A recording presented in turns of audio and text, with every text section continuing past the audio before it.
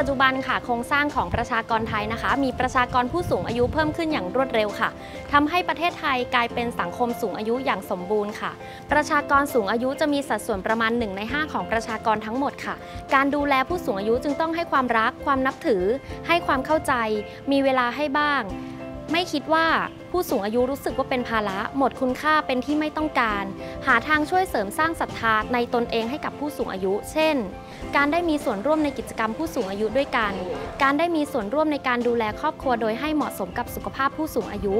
การยังเป็นที่เคารพนับถือของคนในครอบครัวที่อาวุโสน้อยกว่า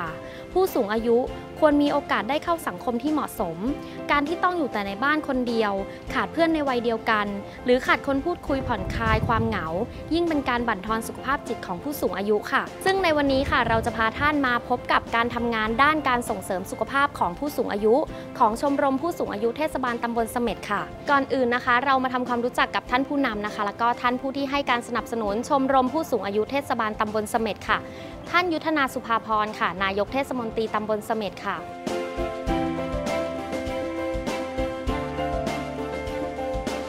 ชมรมผู้สูงอายุเทศบาลตำบลเสม็ดนะครับ ก็ซึ่งมีการก่อตั้งกันมานานหลายปีแล้ว การจัดทำกิจกรรมต่างๆ ของชมรมนะครับ เทศบาลตำบลเสม็ดนะครับ โดยกองสาธารณสุขนะครับ ก็ให้การสนับสนุนนะครับ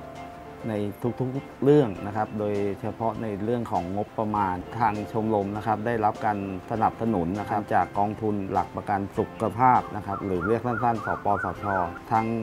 เทศบาลตำบลเสม็ดนะครับ ได้ตั้งงบประมาณไว้ให้ทุกปีซึ่งชมรมผู้สูงอายุนะฮะก็มีคณะกรรมการนะครับที่เข้มแข็งนะครับมีการประชุมกันทุกเดือน แล้วก็คิดค้นกิจกรรมต่างๆนะครับ เพื่อให้ กับสมาชิกนะฮะได้มาพบปะกันนะครับ มาทำกิจกรรมร่วมกันนะฮะก็ซึ่งที่ผ่านมานะครับ ก็ถือว่าประสบผลสำเร็จมากนะครับ ด้วยเพราะความร่วมมือนะฮะร่วมมือร่วมใจกันนะครับ ไม่ว่าทั้งของคณะกรรมการนะครับ แล้วก็สมาชิกชมรมนะครับ ก็ทำให้เกิดประโยชน์กับชมรมผู้สูงอายุตลอดมาครับ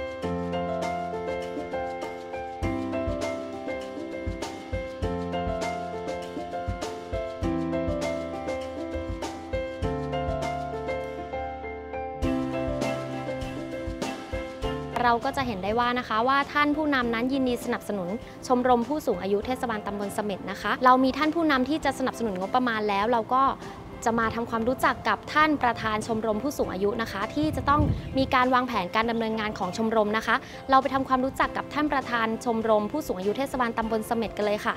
ท่านรองศาสตราจารย์มริวันยุติธรรมค่ะ ประธานชมรมผู้สูงอายุเทศบาลตำบลเสม็ดค่ะ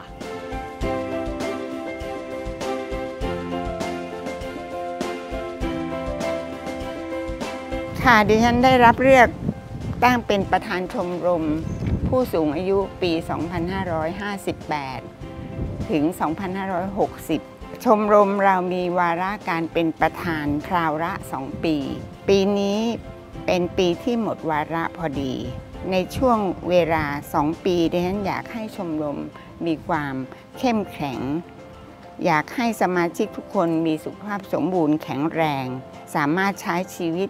ในวัยผู้สูงอายุได้อย่างมีความสุข ในช่วงแรกดิฉันได้มีแนวคิดในการที่จะพัฒนากิจกรรมต่างๆ ของชมรมให้เข้มแข็ง โดยเดินในแนววิถีพุทธ จึงได้เรียนเชิญให้ท่านในายแพทย์อุทัยสุดสุข ซึ่งเป็นอดีตปลัดกระทรวงสาธารณสุขได้มา อบรมเรื่องราวเกี่ยวกับวิถีพุทธให้กับ สมาชิก 5 รุ่นด้วยกันนะในช่วงแรกนั้นก็ใช้เวลาครบหนึ่งปี ได้ทำกิจกรรมต่างๆ เกี่ยวกับวิถีพุทธเป็นส่วนมาก หลังจากนั้นก็มีการอบรมเพื่อส่งเสริมสุขภาพให้ผู้สูงอายุมีความสมบูรณ์แข็งแรงทั้งด้านร่างกายและจิตใจนะคะแล้วก็ในการใช้ชีวิตใน การดำเนินชีวิตของเขาเอง ให้กับสมาชิกทุกท่านทั้งทั้งสุดท้ายคือ 8 สิงหา 2560 นั่นเอง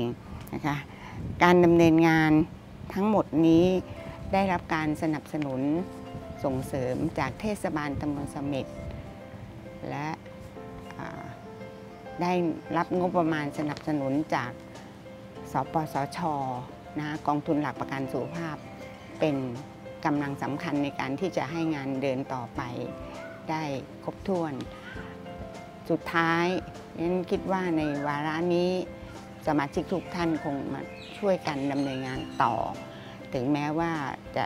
เป็นประธานท่านใดก็ตามนะคะนั้นก็ขอ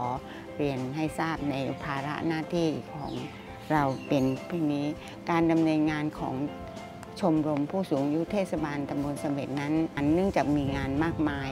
ในการดำเนินงานของผู้สูงอายุนั้นอันคิดว่าทางพออกองสิ่งแวดล้อม จะได้นำเรียนให้ท่านทราบต่อไปว่า เรามีภารกิจอะไรกันในผู้สูงอายุ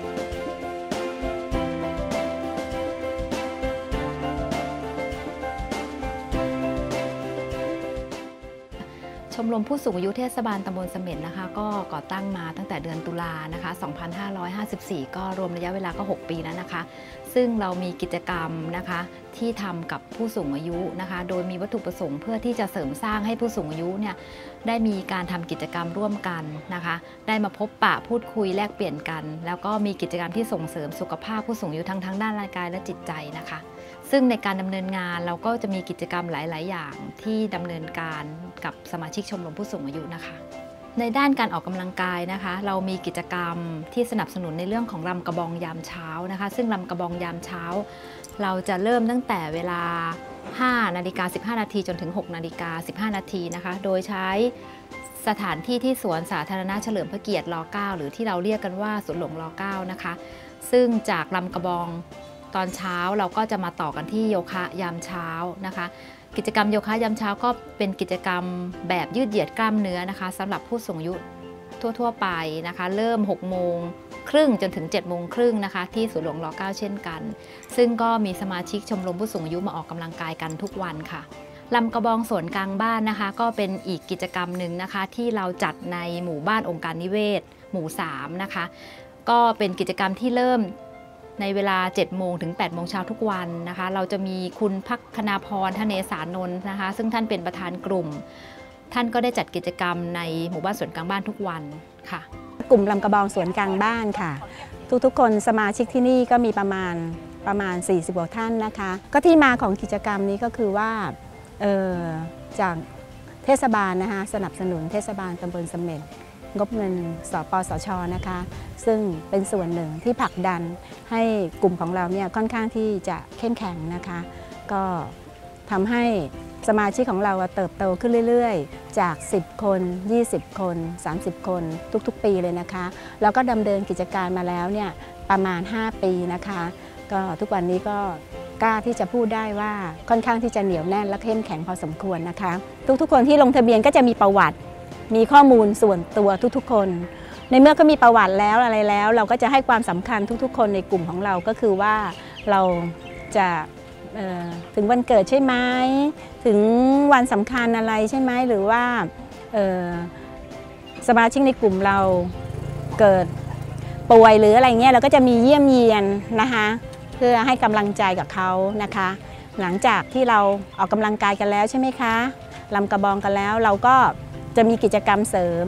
เสริมทักษะ ด้วยการจับกลุ่มล้อมวงกัน แล้วก็ทำกิจกรรมเสริมอื่น ๆ ซึ่งเขาก็จะมีความรู้สึกว่าไม่ไม่ไม่เบื่อหน่าย กลุ่มของเราเนี่ยอายุสูงสุดเนี่ยนะคะเกือบ80 นะคะ ก็คืออยู่ในละแวกหมู่บ้านใกล้เคียงแถวๆนี้แหละค่ะที่ที่เห็นว่ามีเวลาตอนเช้า ลูกหลานไม่มีใครอยู่บ้าน ไม่อยากจะปล่อยให้ท่านเหงาอยู่บ้านคนเดียวอะไรใช่ไหมคะ เราอะก็จะไปชักชวนกันมาออกกำลังกายตอนเช้า อันนี้ค่ะ คือจุดเข้มแข็งของกลุ่มลำกระบองสวนกลางบ้าน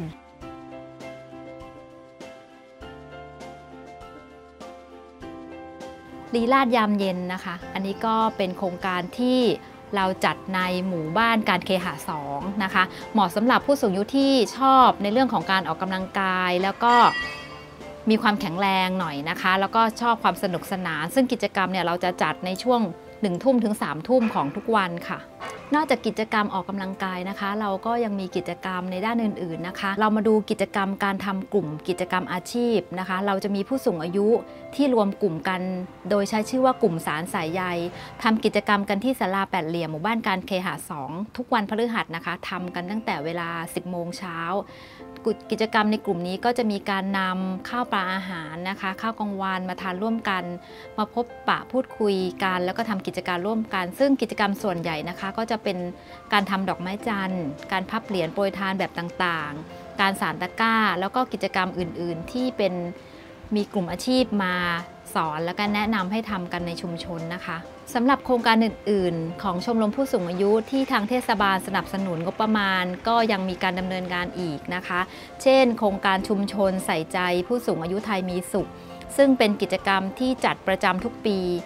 เราจะจัดให้มีการตักบาตรข้าวสารอาหารแห้ง กิจกรรมสันทนาการ การประกวดผู้สูงอายุไทยใส่ใจสุขภาพ มีการรดน้ำขอพรผู้สูงอายุด้วยนะคะ โครงการการดูแลผู้สูงอายุที่ข้อเข่าเสื่อมโดยแพทย์แผนไทยนะคะ โครงการนี้เราได้ทำร่วมกับทางโรงพยาบาลส่งเสริมสุขภาพตำบลเสม็ดเป็นโครงการที่รักษาผู้สูงอายุที่มีการปวดข้อเข่าเสื่อมนะคะ ด้วยแพทย์แผนไทยนะคะ ซึ่งอันนี้เราก็ได้รับงบประมาณสนับสนุนจากกองทุนหลักประกันสุขภาพเทศบาลตำบลเสม็ด หนึ่งในปัญหาสุขภาพนะคะที่พบ1ใน 10 โรคเนี่ยก็จะเป็นโรคข้อเข่าเสื่อมนะคะ ทางโรงพยาบาลส่งเสริมสุขภาพตำบลเสม็ดเนี่ยเล็งเห็นถึงความสำคัญในอันนี้นะคะ ก็เลยได้คิดโครงการการอบรมการดูแลผู้สูงอายุด้วยข้อเข่าเสื่อม ด้วยศาสตร์การแพทย์แผนไทยขึ้นมานะคะ โดยได้รับการสนับสนุนงบประมาณจากกองทุนหลักประกันสุขภาพ เทศบาลตำบลเสม็ดค่ะ ซึ่งในขั้นตอนการดำเนินงาน จะประกอบไปด้วยการจัดอบรมนะคะอสม หรืออาสาสมัครสาธารณสุขประจำหมู่บ้านในตำบลเสม็ดนะคะ มาอบรมในเรื่องของการดูแลผู้สูงอายุ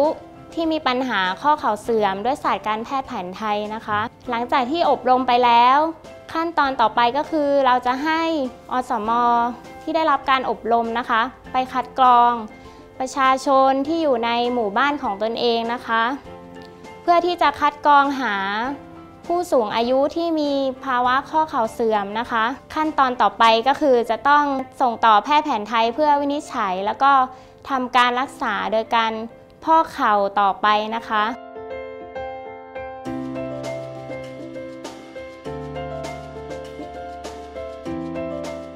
ครงการส่งเสริมสุขภาพผู้สูงอายุนะคะ อันนี้เป็นโครงการของชมรมผู้สูงอายุที่เขียนขึ้นมาเพื่อ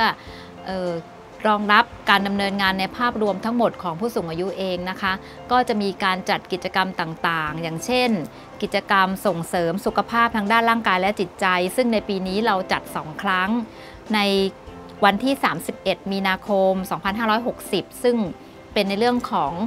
ผู้สูงอายุกับเศรษฐกิจพอเพียงนะคะ ในวันที่ 8 สิงหาคม 2560 เป็นเรื่องของการดูแลผู้สูงอายุให้มีความสุขนะคะ แล้วก็มีสุขภาพที่ดีทั้งด้านร่างกายและจิตใจค่ะนอกจากนี้นะคะเราก็จะมีการจัดประชุมสามัญประจำปีทุกปีนะคะ เพื่อที่จะได้ให้ผู้สูงอายุ ที่เป็นสมาชิกชมรมนะคะ ได้มาพบปะพูดคุยแลกเปลี่ยนความคิดเห็นการได้มารับฟังการนำเสนอการสรุปผลการการดำเนินงานของชมรมผู้สูงอายุ เราก็มีการจัดประชุมสามัญประจำปีทุกปีนะคะ ที่ห้องประชุมแก้วเจ้าจอมนะคะ องค์การบริหารส่วนจังหวัดชนบุรีค่ะ โดยการดำเนินงานทั้งหมดของชมรมผู้สูงอายุนะคะ เราก็มีการดำเนินงานเป็นคณะกรรมการชมรมนะคะ โดยเรามีกรรมการชมรมนะคะ ท่านประธานชมรมก็คือท่านรองศาสตราจารย์มริวันยุติธรรมนะคะ มีรองประธานสองท่านนะคะ คือท่านแรกก็คือนางทักษกรโชติเกษมกิจ และนายประสิทธิ์สุวรรณมัยนะคะ เลขานุการคือนายสมศักดิ์วงแสนสุข ผู้ช่วยเลขานุการนางสาวบุษวดีคิดถูกเหรัญยิก นางระวิวันกันกา ผู้ช่วยเหรัญยิก นางสาวจันจิลามุจรินนายทะเบียน นางสามัคคีจุนถาวร ประชาสัมพันธ์ นางสมหวังทิพย์บรรจง ผู้ช่วยประชาสัมพันธ์ นายอิทธิเดชสันหกร วิชาการนายจรุงชาติสุภาพิษนาม ปฏิคม นางปราโมทกันงาม และยังมีคณะกรรมการอีกหลายท่านที่ช่วยกันดำเนินงานชมรมนะคะ คือ นางสาวสมบูรณ์สนิทกูล นางละเมียดจีบแก้ว นางคณิษฐาอยู่พจน์นางอัมพายอุทัยศรี นางอุดมจัญญาพรพงษ์นางพกาชมพูรัตน์ค่ะ เราก็ต้องขอขอบคุณนะคะ คุณจิรภาสุขสวัสดิ์ค่ะ ผู้อำนวยการกองสาธารณสุขและสิ่งแวดล้อมนะคะ ที่มา พูดเกี่ยวกับการวางแผน แล้วก็การดำเนินงานของชมรมผู้สูงอายุนะคะ และขอขอบคุณท่านประธานชมรมผู้สูงอายุค่ะ รองศาสตราจารย์มาริวันยุติธรรมค่ะ และสุดท้ายนะคะที่ขาดไม่ได้ต้องขอขอบคุณท่านนายกยุทธนาสุภาพรค่ะ นายกเทศมนตรีตำบลเสม็ดค่ะ ที่ให้การสนับสนุนชมรมผู้สูงอายุเทศบาลตำบลเสม็ดค่ะสำหรับผู้สูงอายุท่านใดนะคะ ที่อยากจะสมัครเป็นสมาชิกชมรมผู้สูงอายุเทศบาลตำบลเสม็ดค่ะ